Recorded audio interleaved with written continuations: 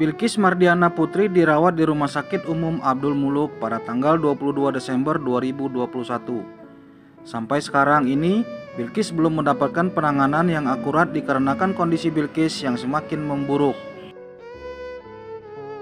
Bilkis Mardiana Putri baru dilakukan tindakan kemoterapi pada tanggal 30 Desember 2021. Itu pun hanya satu obat yang masuk.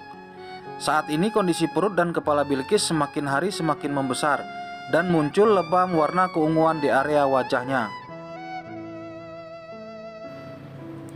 Di samping itu, Bilkis juga selalu demam dan darahnya selalu mengurang, sehingga sulit diambil tindakan oleh dokter. Saat ini, makanan yang dikonsumsi hanya susu dan bubur beras merah dengan memakai sedotan karena mulutnya sakit untuk mengunyah makanan. Hingga berita ini diturunkan, Bilkis Mardiana Putri masih dirawat di ruang poli anak Alamanda, lantai 2, kamar 207, Rumah Sakit Umum Abdul Muluk, Bandar Lampung.